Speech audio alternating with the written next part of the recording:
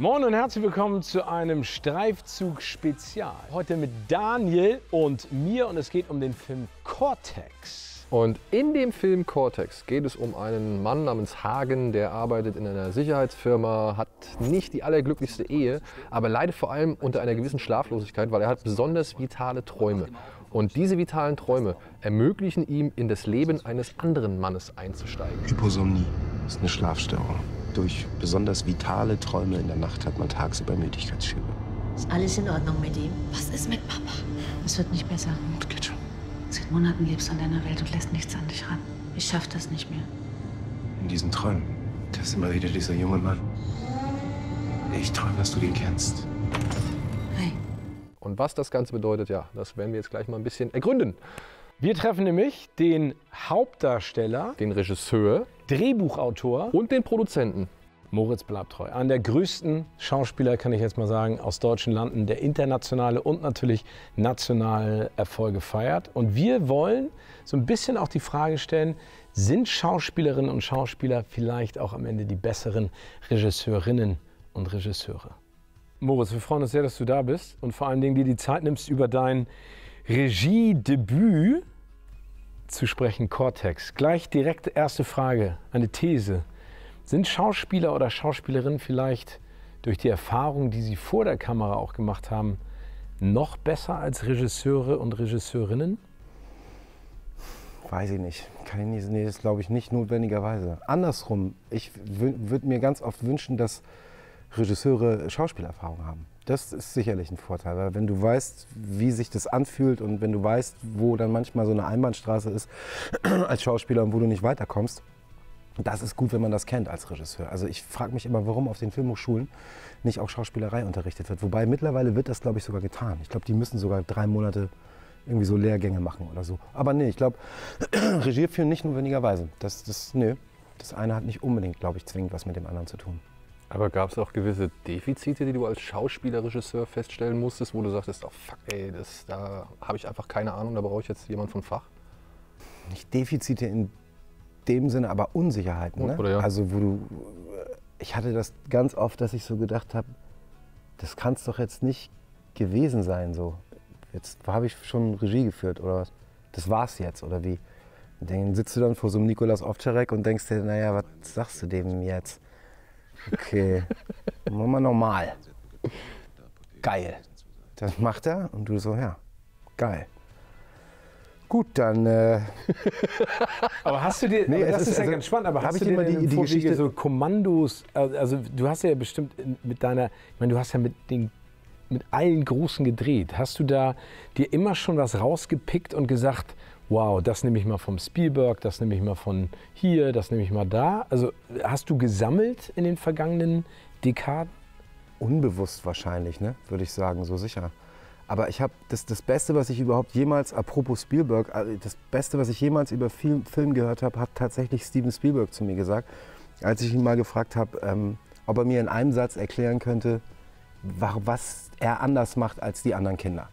So, warum bist du so, like, why are you, how, how do you do this? Und dann meint er so zu mir, well, Moritz, mit seiner Zigarre, ganz entspannt, you know what I do? I hire the best people in the world and I tell them how great they are. Und das werde ich nie vergessen. Das war so, und eigentlich streng genommen ist es das. Das ist in meinem Fall sicherlich nochmal was anderes. Klar, ich habe das auch geschrieben. Aber als Regisseur habe ich mich im besten Fall echt als eine Art Motivator empfunden, der ich glaube, das Wichtigste, was ein Regisseur auszeichnet, ist, du darfst nicht zweifeln. Und wenn, musst du das mit dir selber abmachen. Das war für mich das größte Problem. Weil ich bin ein großer Zweifler, ich zweifle ständig. Das darfst du dein Team nicht spüren lassen. Du musst halt immer den Leuten das Gefühl geben, dass du weißt, was du da machst. das ist manchmal nicht so einfach. Aber wenn du dann eben, wie in meinem Fall, so geile Schauspieler hast, so einen geilen Kameramann hast, so einen geilen Tonmann hast, so einen geilen Cutter hast, dann, das ist ja das Tolle, dafür sind die ja da, die machen es ja dann. Und dann sagst du, geil, nächste, wir bauen um. Und alle so, bauen wir um? Äh, ja, wir bauen um. Das ist, nee, ich habe wirklich, also, kennst du den Witz, wie, Regie, wie das Regiefach überhaupt entstanden ist? Mit den beiden Schauspielern, die auf der Bühne stehen und der eine sagt, geh mal, zu dem anderen sagt, geh mal runter, guck mal, wie ich aussehe.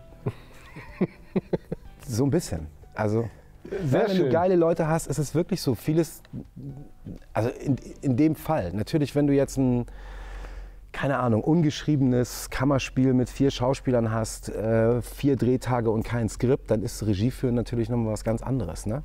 Aber wenn man das so wie bei uns, doch ein relativ ordentlich getakteter Genre-Film, so ein bisschen zumindest, dann ging es eigentlich, muss ich ehrlich sagen. Es waren dann eher die Unwägbarkeiten, die mich genervt haben. So in Berlin haben sie uns eine Drehgenehmigung entzogen, da mussten wir da das ganze Haus einschalen, CGI, weil wir dann nachts nicht mehr drehen durften und so. So ein Scheiß. Das nervt dann eher, oder so. Ne, aber jetzt die Arbeit am Set mit Schauspielern und so. Ich glaube, es hat auch was damit zu tun, dass ich auch nur Schauspieler besetzt habe, wo ich mich einfach freue, die zu sehen als Menschen und einfach genau weiß, wie gut sie sind. Ne, das ist, und wenn ich dann äh, in den kleinen Rollen eine, eine, ja, Ilse Balli habe oder keine Ahnung, eine, eine Katrin, Brigitte Janner, Gustav Peter Wöhler, das sind alles Leute, die kenne ich alle aus meiner Kindheit und die kommen da und hauen solche Dinge raus und dann sagst du halt, ja, kaufe ich. Also es ist, wie Spielberg dir damals gesagt hat, das Team richtig zu besetzen, um sich möglichst klar auf die einzelnen Jobs zu konzentrieren, weil das hat ja auch äh, Daniel gerade gesagt. Ich meine, du bist Drehbuchautor, Regisseur und auch noch Hauptdarsteller. Also es ist ja nicht nur so, dass du dich auf die Regie konzentrieren konntest, sondern du hattest ja auch noch ein paar andere Sachen zu machen. Ja, das ist das Blöde, weil man dann so denkt, so, ah, der will alles an sich reißen, der macht alle, will alles alleine machen. Das könnte nicht falscher sein. Also das ist im absoluten Gegenteil. Das ist zwar so, aber ich gleichzeitig habe ich dann eigentlich alles abgegeben, was ich abgeben konnte. Und gerade das finde ich auch toll, dass man dann eben sagt, gut, ich biete sozusagen den, den Boden für dieses Spiel. Und dann sind aber alle herzlich eingeladen, mir alles, was sie mir geben können, zu geben. Und ich werde das immer offenherzig annehmen. So, ich glaube, es gibt nur zwei Arten, Regie zu führen. Entweder du sagst wirklich so, so Kustoritzer-mäßig, ne, Helmut Dietl-mäßig, wir machen das so, wie, wie ich das will. Ja? Steven. Und jetzt schaust du mal da äh, äh, nach dem Dann in deinem Satz, ja, was ist denn da? Und dann sagst du, nach dem Dann ist ein Bindestrich. Sagt er, ja, genau. Und den spielst du jetzt einmal mit. Weißt du, also es gibt Regisseure, die, die wirklich Interpunktion, da, da machst du das, was der will und sonst nichts. Und das ist auch eine Herangehensweise. Ich bin eher einer, der, der sagt, äh, hier ist der Boden, gib mir. So. Aber du hast jetzt eben gesagt, ne, du darfst dir nicht anmerken lassen, wenn du Zweifel hast und wenn, oder wenn du halt keine Ahnung hast, was du da machst. Und du hast jetzt einen Film gemacht, bei dem sollte man eigentlich möglichst wenig wissen. Haben die alle gewusst, was, sie, was, was du von denen willst?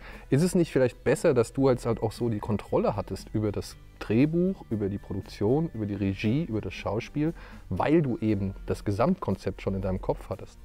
Also ist es nicht dann doch eher besser, wenn du so ein bisschen genau diese ganzen Fäden bei dir in der. Weil das ist eine komplexe Geschichte. Total. Und ich kann mir nicht vorstellen, dass jeder Darsteller sofort verstanden hat, was er da eigentlich repräsentiert oder was er da machen soll. Das ist absolut richtig. Es, es war ähm, ja fast eigentlich mit allen. Also es gab ein paar, da ist, war die Figur auch klarer strukturiert und definiert.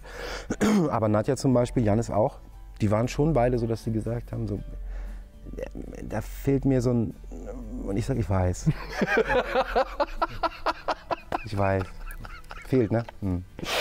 Ja, aber es war dann auch irgendwie so, dass ähm, ich wollte das halt auch nicht erklären. Also das ist ja auch, das tut der Film ja auch im Allgemeinen. Der Film nimmt sich ja auch quasi den Mut raus zu sagen, ich muss nicht alles erklären.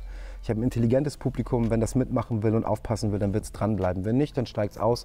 Das ist aber auch okay, das verstehe ich auch. Wenn Sachen für bestimmte Leute zu sperrig sind, raus. Das gibt es bei mir auch. Ich habe ganz viele Sachen, ne, so Filme, wo ich dann aussteige, wo ich sage, das ist mir zu mental oder so, weißt du, wo ich dann auch raus bin. Also, keine Ahnung, The Square. Oh ja. Oh ne? ja. Trotzdem habe ich gedacht, aber irgendwie ist ein geiler Film gewesen, ne? Was war daran eigentlich geil? Keine Ahnung. War es ein geiler Film? Ich glaube schon, oder nicht? Weißt du, was ich meine? Also, wo sich, wo sich das so. Ja, aber allein so die Szene bricht. mit dem Affendarsteller in dieser. Ja, das war der ganze Film, Digga. Ne? Das war der ganze ja. Film. Der ganze Film war dieser Auftritt von diesem phänomenalen Schauspieler, wer auch immer dieser Typ war. Unglaublich. Das ist der, der bei Planet der Affen die Movements, sag ich mal, festgelegt. Ja, ja. Ah, siehst du, das wusste ich gar nicht. Ist ja abgefahren. Der hat diese Stützen entwickelt, mit denen er auch da rumläuft. Und, und hat dann halt dafür gesorgt, wie die Affendarsteller sich halt bewegen müssen. So, wow. Aber das ist eben das Ding.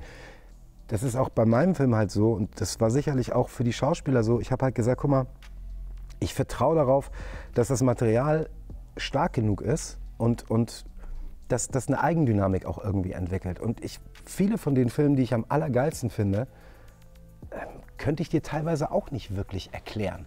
Also, weiß ich nicht, Syriana habe ich, glaube ich, fünfmal gesehen, bis ich irgendwann wusste, so jetzt weiß ich langsam. Ich wusste aber schon nach dem ersten Gucken, ich mag den Film. Ich mag den. Und ich weiß, Leute sind rausgegangen und sagen, ich, ich nicht, was war da los? Ich habe nichts verstanden. Und ich sage, ja, aber ich auch nicht. Aber ich Irgendwie hat geil. aber Angel Heart. Ja, ey, Angel hat. Es gibt so viele Beispiele, wo du sagst, so, ey, der, der, der ist, und das sind auch Fe Fehler handwerkliche. Das kann man sicherlich in meinem Film auch finden, aber das, sind, das ist für mich immer gar nicht so ausschlaggebend, sondern vielmehr so ein, wie soll man sagen, so ein Gefühl, so ein, so ein, so ein ein nicht greifbares, greifbares Gefühl. Genau, und das habe ich quasi versucht, meinen Schauspielern zu vermitteln, um jetzt den Kreis zu schließen und gesagt, vielleicht findet ihr ja da was für euch. Also dieses ganze, weißt du, so, und dann, ja, und die war früher so, und das ist natürlich so, die ist natürlich eben Waldorfschule gemacht, ne, weißt du, und ich schreibe dir mal eine Biografie, sechs Seiten Biografie. Ich weiß gar nicht, ob das das ist, also sicher, für einige Schauspieler ist das eine unheimliche Hilfe. Für dich auch? Äh, nee. Ich bin da auch eher so, dass ich, ich brauche so ein, ich brauche viel, ich brauche einen Geruch, ich brauche einen Geschmack, ich brauche einen Gang, ich brauche eine Physis, ich brauche einen Blick, ich brauche, weißt du, solche Sachen. Ja, dass der jetzt so und in seiner Früher so, woher komme ich, wohin gehe ich, das ist, das ist sicherlich für viele Schauspieler anders. Aber für mich, ich bin da sehr elementar und ich habe das Gefühl gehabt, oder habe das Gefühl, dass viele Schauspieler damit auch viel mehr anfangen können, als mit diesem, in Anführungsstrichen, Zerreden. Ne? Und das hat überraschend gut geklappt. Also die haben das überraschend schnell aufgenommen und was von sich draus gemacht. Und wenn du dann so ein Tier hast wie so ein Niki von Ovtcharek, da bist du ja eh, was ich vorhin meinte, da sagst du nur so, okay, das habe ich geschrieben. Ja, aber das ist, würde ich, würde ich gerne mal wissen von dir, Moritz. Ähm, wann hast du damit angefangen, diese Geschichte zu schreiben? Und vor allen Dingen, wenn du dir diese drei Rollen, die du ja auch bekleidest, anguckst, ne? war das Drehbuchautor, geile Geschichte, das ist mein Debüt, Regiewerk sozusagen. Und dann spiele ich auch noch selber mit drin? Oder wie hingen die miteinander zusammen? Oder hast du gesucht als Regisseur parallel und gesagt, was gibt's? Ah, nee, ich habe eigentlich eine geile Geschichte selber geschrieben, die mache ich. Also wie ist das entstanden? Ich habe das halt geschrieben, ich habe viele Sachen angefangen und weggetan und hat, der Stoff war irgendwie dann der, derjenige welche, wo ich gesagt habe, das ziehe ich jetzt durch. Ich weiß auch gar nicht so sehr warum mich dann der jetzt so gepackt hat. Und dann habe ich das gemacht und ich wollte es definitiv nicht spielen. Das war ja, das ist dann quasi meiner Nichterfahrung als äh, Regisseur geschuldet gewesen, dass dann, ich habe ja gedacht, ich finde einen, ne? habe gecastet, gemacht, getan. Und, gedacht, hm, das, hm, und dann rückte dieser blöde Zeitraum, dieser Tag halt immer näher. Und das ist eben als Schauspieler ist das einfacher, da kannst du dann die drei Sätze eben abends noch mal vorher lernen. Als Regisseur ist dann doof. Kannst ja nicht dastehen und dann hieß es, du musst jetzt einen Schauspieler nehmen. Und da hatte ich das große Glück, dass mein äh, Partner in der Firma, in der Paloma Emek, der hat mich halt immer aufgezogen, weil der von Anfang an wollte, dass ich das spiele. Der ist halt Produzent. Weißt du, mehr als ich. Und der sagte dann so, ey, guck mal, ich, ahnst du diesen Moritz bleibt treu? Ich so, ja, kenne ich. Ja, der ist ganz gut. Ich sag, ja, bisschen überbewertet vielleicht. Er sagt, nee, nee, nee, der ist schon ganz gut. Und ahn mal, der macht das für Umme. Der macht das für ganz billig. Ich habe mit dem geredet, sagt er. Der mag den Autoren, der mag den Regisseur, der findet den super. Der macht das wirklich für ganz wenig Geld. Lange Rede, kurzer Sinn. Ich habe dann irgendwann gesagt, ach komm, nehmen wir ihn. Status quo, heute sage ich, der Regisseur sagt, er hat es ganz gut gemacht. Produzent ist glücklich jetzt, weil jetzt habe ich einen Schauspieler mit einem Namen, den ich vermarkten kann. Und für Umme. Und für Umme, Ich meine, wie geil Top. ist das? weißt du? Nee, es war wirklich so, das habe ich echt unterschätzt.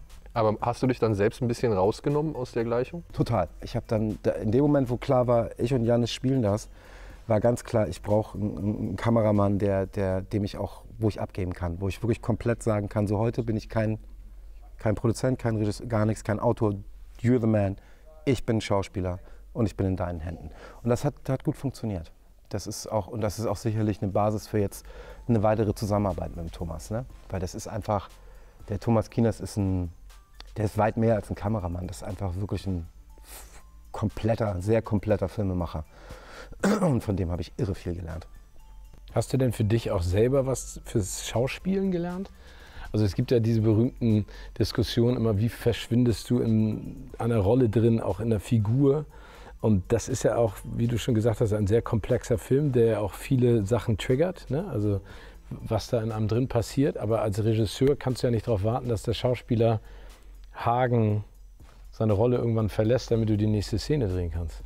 Na, es ist halt das größte Problem, ist, was ich eben meinte, ist halt das komplette Abschalten. So sagen, ich bin jetzt das nicht mehr. Wenn ich jetzt ein, zum Glück war das nicht so oft der Fall, aber in Szenen zum Beispiel mit Janis beobachte ich mich natürlich sofort oder mit Nadja, muss ich halt aufpassen, dass ich im Gegenschuss nicht Regie führe, ne? Also nicht, was, spielt sie, was spielt sie, was spielt sie, was spielt sie, sondern dass du halt sagst, ich spiele und das vergesse ich komplett. So. Und das war am Anfang ein bisschen kompliziert. Ich musste schon dann sagen, okay, die Lösung kann nur sein, ich muss jetzt so tun, als wäre ich kein Regisseur. Das muss jetzt Thomas machen. Ich bin jetzt nur ein Schauspieler. Aber das hat dann eigentlich überraschend gut, gut geklappt. Also ich hätte es selber nicht gedacht. Und nachdem du es jetzt schon im Film auch erwähnt hast, und ich meine, ich musste schon hier und da ein paar Mal dran denken, aber mir ist dann doch ein anderer Film eher so in, in die, wie soll man sagen, in die Empfindung geraten. Ähm, ist Nolan für dich ein Vorbild? Das ist so geil, ne? Weil ich meine jetzt mal ehrlich, die, Bilder, ja, die Farbgebung, die Dunkelheit teilweise, dieses, dieses Aschfahle. Ich kann mich nur freuen, dass du den Namen in dem Zusammenhang erwähnst. Das ist so, Leute sagen Lynch, du sagst Nolan, habe ich jetzt Nee, nee, nee. schon ganz für oft mich, gehört. Für mich, ich habe an Lost Highway gedacht. Sehr oft. Aber du hast, du hast halt äh, tatsächlich ja im Film selbst erwähnst du Nolan einmal. Ja, das ist klar. Es gibt natürlich den direkten Bezug zu Inception, einfach auch um ihm Respekt dafür zu zollen, dass er der Einzige ist, der einen Film, wie ich finde, zu Traum, zu dem Thema Traum gemacht hat, was wirklich, also was seinesgleichen sucht und erstmal, da kommt das, dann kommt Inception, dann kommt lange gar nichts und dann kommen irgendwie ein paar andere Filme über Träume. Das ist schon, aber mich freut das natürlich, klar. Also das Kino von, das ist für mich einer der großartigsten Filmemacher, die es gibt da draußen momentan. Und ich bin ein großer Fan. Und ich bin auch ein großer Lynch-Fan. Aber es ist nichts, was, was ähm, es sind keine Vorbilder, die wir uns genommen haben oder so, weißt du? Das Mhm. Lustige ist, dass die Vorbilder, die wir gehabt haben, es, wir, wir haben es eh versucht, aber die sind sozusagen dem Film überhaupt nicht mehr anzumerken. Zum Beispiel Kamera, weißt du, was unser, unser äh, also rein ästhetisch Perspektivierung, unser Hauptvorbild äh, war? Roma. Ja, Wirklich? Aber denk mal drüber nach. Ja, ja, ja, ja. Weißt du, was ich meine? Und trotzdem würdest du das dem Film nie anmerken. Aber wenn du sagst, doch stimmt, dieses, dass eine Kamera eben in, ihrer, in ihrem Tempo so ein ganz eigenes, also wie zu einer dritten Person wird. Dass ich sage, ich perspektiviere nicht nur Schau, sondern ich sage, hier ist jemand, der guckt zu. Weißt du? Ja, und dann aber so Bilder wie die Überlagerung von deiner Gesichtshälfte und der von Jannis, nachdem beide auf den Boden gefallen ist. Geil, ne? Ja, sind es Sachen, die du dir überlegt hast oder kamen die von den Das Leuten, die du engagiert hast? Viel Thomas, ne? Also das ist Thomas, ist, was diese Dinge betrifft. Natürlich auch Trickshots, die ganze Nummer mit dem Spiegel und so, äh, wo ich oft jetzt schon erlebt habe, dass Leute sagen, wie habt ihr das gemacht? Und ich sage, ja, denk mal kurz drüber nach. Und dann kommt dann irgendwann so, wenn, also Cineasten sagen dann so, sag mal, habt ihr wirklich das Zimmer nochmal? Aber ich würde gerne Kein Schnitt wissen, drin, ne? Weil, das ist, ja, ja. ja, ja. weil, weil diese Anlehnung, wir haben uns ja auch darüber unterhalten, das ist visuell wirklich absolut beeindruckend. Aber du hättest ja natürlich auch sagen können, das ist mein erstes Werk, ich spiele safe. Aber du hast ja richtig frei gedreht. Du hast ja visuell ganz neue Sachen gemacht. Du hast, äh, also die man so nicht kennt. Ne? Also du hast ein Buch geschrieben, das ja in seiner Komplexität echt, du musst dich einfach richtig konzentrieren, du wirst richtig gefordert. Du hättest aber auch sagen können, ich mache jetzt das, wofür mich die Leute kennen, die Bilder, die man aus dem Kino kennt. Aber war das gerade nicht die Motivation? Nee, ich wollte auch ganz bewusst was machen. Ähm, zumindest, wo man sagt, so, wenn der Junge Filme macht, dann macht sich auf was gefasst so. Kommt nicht. Haha, lustig. Nee. Ey, und da kann ich nur sagen. I'm sorry. Nein, aber da Sorry. kann ich nur sagen, absolut. Weil wir haben uns. äh, Wir Aber weißt du nicht, ich wollte, verstehst ich wollte nicht kompliziert sein. Also was ganz, wie ist mir ganz wichtig, ich habe keinen Film Nee, gemacht. du wolltest authentisch sein. Ich, wollte, genau, ich wollte, den, ich wollte das machen, was ich machen wollte. Und ich habe, weil das, das zum Beispiel kenne ich auch ganz massiv vom Theater, weißt du, wo Provokation ein Stilmittel ist und man so sagt, ich bin jetzt besonders, so dass du gar nichts mehr verstehst. damit alle so denken, oh mein Gott, es muss Kunst sein, ich verstehe kein Wort, weißt du so?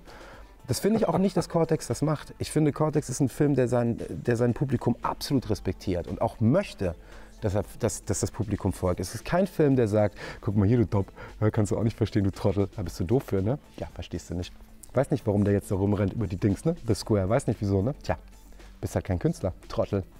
Das ist ja oft so ein, also das Kunstkino als solches, was ich ja mindestens genauso bewundere wie das Mainstream-Kino. Deswegen werden auch alle meine Filme, auch als Schauspieler, waren immer eine Mischung eigentlich aus Genre, Publikumskino und abgefucktem Arthouse. Und das ist Cortex auch. Und das sind auch immer die Filme gewesen, die mir am allernächsten gegangen sind. Und deswegen, ich will nicht schockieren, ich will nicht provozieren, ich will nicht mit Ambivalenz schocken oder mit was auch immer, sondern ich will, wollte einfach nur das machen, was ich will, auf die Gefahr hin, dass die sagen, das ist uns zu kompliziert, das wollen wir nicht nochmal. Aber wenn sie mich dann lassen nochmal, dann wissen sie, dass sie was um die Ohren bekommen. Das ist das Praktische daran. Ey, Haben wir wir. freuen uns drauf. Super. Danke dir, Moritz. Dankeschön. Ich danke. Dankeschön. Vielen Dank. Ja, Daniel, was soll man sagen? Also Moritz ist und bleibt ein geiler Typ. Coole Sau, einfach. Ja, finde ich auch. Großartig. Aber jetzt kommen wir mal zum Film. Also ich muss ganz ehrlich sagen, wenn man äh, über das Erstlingswerk eines so renommierten Schauspielers spricht und sozusagen mit der Prämisse sich den anguckt, äh, ich habe was völlig anderes erwartet. Er ist ein Grenz, Grenzgänger, schon immer gewesen. Hat er auch schon immer so erzählt, sag ich mal, wenn ich auch schon in Interviews mit ihm gesprochen habe. Und der Film genauso. Der Wandel zwischen Romanze, Genre und, und vielleicht auch richtigem Drama. Und Thriller. Ja, also ich und meine, er, er, er packt es ja sozusagen äh, alles in Mixer. Genau, genau. Und das ist ambitioniert, auf jeden Fall ambitioniert. Und für mich tatsächlich spielt es dann tatsächlich in so einer Misch also so eine Liga mit wie äh, Ryan Gosling damals mit Lost, äh, Lost River.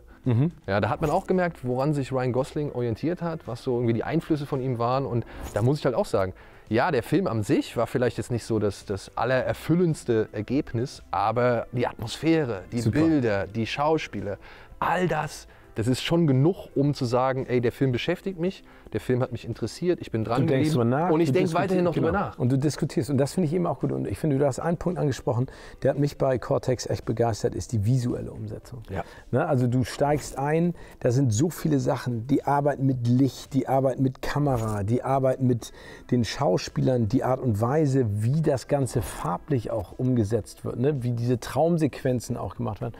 Und ich finde, ambitioniert ist super, aber das passt zu ihm, denn als Grenzgänger, wer nicht wagt, der nicht gewinnt. Und Ja. er hat gewagt Er hat gewagt. und er hat auch meiner Ansicht nach gewonnen. Er hat auf jeden Fall deutlich nochmal noch mal, noch mal mehr Respekt, als er ohnehin schon hat, gewonnen bei mir, weil ich hätte das nicht für möglich gehalten. Er hätte so einfach eine leichte Komödie oder sonst irgendwas oder halt, wie er selbst schon gesagt hat, den typischen Moritz bleibt treu Ja, play it safe, ne? den man von ihm kennt. Hätte, einen Gangsterfilm hätte er einfach machen können Ja. und alle wären zufrieden gewesen. Aber jetzt macht er einen Film, der die Leute herausfordert, der halt ja inhaltlich schon komplexer ist oder Themen halt auf eine andere Art und Weise präsentiert, sodass man nicht ganz wirklich sicher ist, was man da eigentlich sieht. Und das finde ich bemerkenswert. Also ich finde es gut. Und ich finde in diesem Fall auch, und das ist ja das Spannende, ähm, um nochmal auf unsere Ausgangsfrage einzugehen, ne? sind Schauspieler und Schauspielerinnen vielleicht auch die besseren Regisseure oder Regisseurinnen? Ich finde, das ist eine gewagte These, eine gewagte Frage, weil es ist natürlich auch ganz klar, dass es Menschen gibt unterschiedlicher Fasson. Und ich glaube, was einen guten Regisseur auch ausmacht, ist, ein gutes Team zusammenzustellen und das Vertrauen auch weiterzugeben. Ne? Ja, und auch eine Vision zu haben. Genau. Er hat genau gewusst, was er da macht und hat sich dann halt jemanden geholt, der ihm dabei geholfen hat. Und ich finde, es ist cool, dass er genau das wiedergeben konnte, was er halt auch im Kopf hatte. Und das musst du schon mal im Kopf haben, was der da geschrieben Genau, hat und was in er der inszeniert hat. Komplexität. Ne? Ja, das ist schon, also ich kann mir vorstellen, wie manche Schauspieler da gehockt haben und haben sich gedacht, was mache ich jetzt hier gerade, was erzähle ich denen da, ja, und, und ja, deswegen, also ähm, diese Vision dann auch komplett so durchzuziehen, wirklich Respekt. Ich würde sagen, der Film hat ein paar Minuten zu viel auf der Uhr, muss jetzt nicht unbedingt sein, aber es gibt auch noch ein paar Fragezeichen, aber man muss auch nicht immer alles erklären, da gebe ich ihm recht. Es gibt, es gibt ein paar Filme, die liefern auf so vielen Ebenen gut ab, dass sie sich auf anderen Ebenen wieder Fragezeichen erlauben können. Und solange ich mit diesen Fragezeichen leben kann, und das kann ich hier, weil sie halt eben meine Ja, Fantasie total. und meine Gedanken beflügeln, dann äh, kann das auch so bleiben. Da Und muss er, ich nicht alles und erklären. er beflügelt mich, ihn nochmal anzugucken, Ja. um einfach vielleicht nochmal Fragezeichen zu ergründen. Also ich sage auf jeden Fall, Top-Job. Moritz, mach weiter so. Ja, ich Äh, bin gespannt, was das kommt. Auf all das, was da noch kommt. Ja, das war unser kleines Spezialgespräch mit Moritz Bleibtreu zum Film Cortex. Wir hoffen, es hat euch gefallen. Wir hoffen, ihr schaltet auch nächste Woche wieder ein und wir hoffen natürlich, dass ihr uns wieder fleißig unterstützt mit Abos, Glocke drücken, Kommentaren ding, ding. und vielleicht ja auch, sagt uns mal, was euer Lieblingsfilm von Moritz Bleibtreu ist. Das würde mich mal interessieren. Bis Da dahin. gibt es eine ganze Menge. Ja, da gibt es eine ganze Menge. Tschüss.